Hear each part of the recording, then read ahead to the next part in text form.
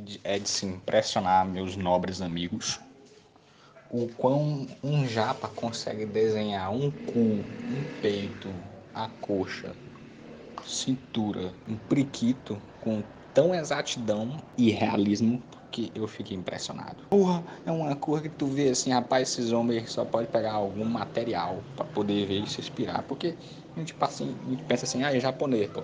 Claro que lá existem as, as bonitonas, né? Mas não se comparar uma japinha, pô, com, com as mulheres aqui da, América Latina, até doido, pô.